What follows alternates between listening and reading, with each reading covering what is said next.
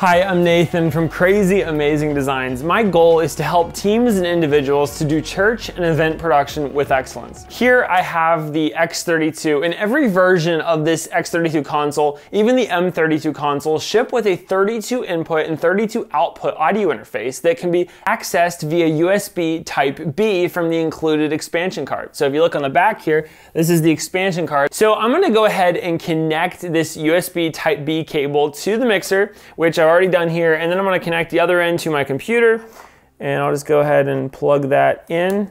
The expansion card is not the audio interface, but the expansion card is our link to the audio interface inside of the X32. So in the case of the default card in the console, we're kind of limited to this USB connection, but that's why this is an expansion card upgradable to other cards like Dante or Waves or other recording and playback cards that use SD cards or even SSD drives. So normally an audio interface is used to take analog audio from a microphone or instruments and convert it to digital so that it can be recorded into a computer. So an audio interface such as this Focusrite interface has great preamps to take a microphone signal or input from an instrument and convert it to digital for many simple recording applications. So this one has a single XLR input on the front and two outputs on the back. Audio interfaces like this that connect via USB-C to your computer are also great for output because they allow your computer to output audio via professional quarter inch or even XLR ports, where normally you have to rely on the built-in eighth inch headphone jack on the computer that is not designed to go into a larger sound system. So in the case of this X32, where we're using it as an audio interface, we aren't actually leaving the digital world with our audio. The USB cable is going to send all of our XLR console inputs to the computer for our multi-track recording. So the default card is installed into this X32. We have connected the USB cable to the expansion card and then to our computer. So now on the computer, I'm gonna go to Apple, System Settings or System Preferences. We're gonna click on Sound on the left side. And now on the right side, you can see that X USB shows up in our input and our output. XUSB is our expansion card in the X32, so it appears on this list. So through this USB connection, we can send and receive 32 channels of audio to and from this X32. But without some specialized software, we can only send two channels of audio to the X32. So normally the computer has two channels of audio, one left and two right, through the built-in speakers. Same if you plug in headphones or even connect AirPods to this computer all you get is one left, two right. So with the XUSB selected, if you click play on Spotify or an online video, the audio is gonna be sent to one and two on the XUSB. So Mac OS X does not have any way of changing this output but there are lots of programs that allow you to set specific outputs to specific channels. So let's set up to record our multi-track recording. Starting on our X32 console, I'm gonna go to routing and I'm gonna tab all the way over to the left to find the inputs page. And here you can see all of the console inputs that are coming from our digital stage boxes. So if you have questions about the routing inside of the X32, I encourage you to go check out my routing videos for the X32 console. I've heard some really positive feedback from those of you who have checked out those videos and have really found value in them. The links are gonna be in the description. So this is the X32 routing input tab. So all 32 channels that are coming into your console are gonna do that right here. So I suggest setting up these four banks, 1 through 8, 9 through 16, 17 to 24, and 25 to 32 as user inputs, which is what I have set up here. So now I'll go all the way to the right to the user tab, and then on the left, select input, and here you can select all of your routing inputs coming from the stage boxes. The beauty of this is that you can change different things. So if you wanna make number one be a input, whereas two through eight are going to be from the stage box. You can do that super easily. So however you decide to set up your inputs tab, we're gonna go over to the card tab and we're gonna select those same inputs on this page. On the inputs tab, your inputs are coming into the console. On the card tab, your inputs are being sent to the XUSB, which is the connection to the computer. So once our inputs coming into the console are now being sent through the card tab over to the computer, we're gonna go ahead and open up a program called Ableton Live, but you could easily use GarageBand, which is free with Mac, create 32 channels, basically follow the same ideas of what I'm doing with Ableton inside of GarageBand, selecting your audio interface, creating your channels, selecting your inputs, and then hitting record. So now inside of Ableton, I'm gonna go to Ableton Live Preferences, and now I'm gonna click on the Audio tab. And now on my audio input device, I will select X USB.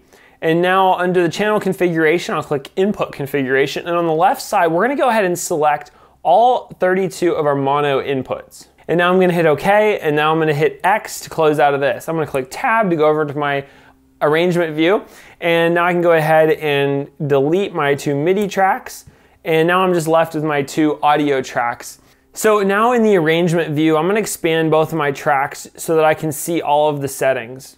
And if you don't see what I'm seeing, then use the bubbles in the bottom right to activate or deactivate all of this information. So now I can see what's going on. So at the top of each track, we have our input selection. I'm gonna go ahead and select external input and then I'm gonna select input one, and then I'm gonna select external input and input two on the second channel. So with external input selected, it's pulling from the USB connection from the X32 from channel one and then channel two for our second channel. So below that, you're gonna see the in, auto, and off, which are monitoring settings. So choosing in or auto if you wanna monitor audio channels through Ableton, and then if you select off, if you just wanna record and monitor outside of Ableton, this reduces latency, but I'm gonna go ahead and select in. So now for our outputs, which is, the, you see the word master, that is our output. You could select external out, we'll talk about that in a bit, but currently they're set to master, which is a big group of all of the channels that are all being sent to this master, which is down at the bottom. So now we can set the output here. I'm just gonna leave this alone. It's currently set to our headphone or our computer speakers. So if you turn the volume up while you're recording the multi-track, you can kind of monitor and see what's going on. You could solo channels or turn off channels to hear different parts of the track that's being recorded. I'm gonna go through and repeat this process, uh, duplicating channels, setting their external inputs, all the way until I get to channels 32. Yikes, you know how when the cooking shows always bring out the final product that they like made before the show? I feel like that's what I should have done here. One interesting thing to note is that when you duplicate channels, you go to the in external input. When you click on the drop down to select the different input channels, you can type in the number, which is really nice. So I repeated this process until there are 32 tracks in my project with their inputs all set to 1 through 32. My monitoring information is already set and we're ready to arm the track. So what I'm gonna do is I'm gonna go to the bottom one at 32 and I'm gonna click on it and then I'm gonna go to number one and I'm gonna shift click and on the right side I'm gonna click the little arm button which is right beside the solo button. Now I use the little red record button in the top of Ableton and the timeline has started recording. Hi, hello, can you hear me? Yes, I think you can hear me. So at this point, we should be seeing signal in the tracks monitor of each channel. So if you don't see input signal, then go back and see what got missed. I wanna point out that we are recording all 32 channels mono, but if there are any stereo channels, recording both mono channels as mono means that they become stereo again when we play them back. So now we're gonna go ahead and reverse the process and play back this multi-track to the console from Ableton. So back over on the X32, we need to go back to the routing inputs tab, which is the left tab, and we're gonna change all of the console input sources from their physical stage box inputs, our local inputs, or ideally you have user inputs, one all the way up to 32, set up here like we talked about. So we're gonna start by taking a photo of this page. I think I have enough cameras running here that we're good to go with my photo that I have. And once we take a photo, just as a future reference, then we can start changing all of our banks to be card inputs. So we're gonna go ahead and select card one through eight, card nine through 16, card 17 to 24, and card 25 to 32. This means that the X32 will pull all 32 channels from the card, meaning from our computer, from our multi-track. So inside of Ableton Live, I'm gonna go back to Live Preferences, we're gonna go back to the audio tab and this time we're gonna select audio input device. I'm gonna select no device. And for audio output device, I'm gonna select XUSB. And I'm just gonna do that just to confirm that we don't accidentally have any rogue uh, feedback, any loops happening here. So now for our output config, all of our mono inputs are set. I'm gonna click OK. When that is done, go ahead and close the window. And now on each of the 32 recorded channels, so no input is selected for all of my track inputs, and my external outputs are gonna be set to their track number. So now when we click play, we should see audio in the console. So if I find a spot, I literally see audio in the console on all four pages.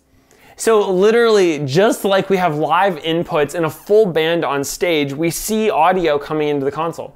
So this USB connection is very useful. We can input and output 32 channels at the same time, but it's still limited to a connection with one computer. You can't send audio to the streaming computer as well as pull audio from the presentation computer via USB. It's, a, it's one connection, which is a really kind of a bummer. So check out the video link in the description if you'd like to learn more about replacing the default X32 card with a Dante card. Utilizing Dante, you can send and receive, uh, like normal, 32 channels of audio to and from, but you can do it from a bunch of different devices that are all Dante enabled on the network, such as computers with the Dante Virtual Sound Card app. So thank you for watching this video and allowing me to be a resource as you seek to do church and event production with excellence. Check out these other videos that expand on what we've talked about here, and I'll see you next time. Bye.